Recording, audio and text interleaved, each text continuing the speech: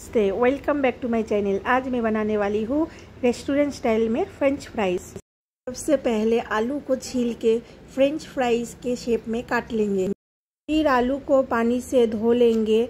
उसके बाद एक बर्तन में पानी को गर्म होने देंगे। जब पानी में बुलबुला आएगा, आलू और नमक को डाल के आलू को हल्का सा बॉयल करके आलू को पानी से निकाल लेंगे। फ्राई में तेल डाल के आलू को मीडियम फ्लेम में एक बार फ्राई कर लेंगे। फिर हाई फ्लेम में एक बार फ्राई कर लेंगे। लास्ट में ऐड करेंगे काला नमक, लाल मिर्च और ऑरिगेनो। फ्रेंच फ्राइज बन के रेडी है।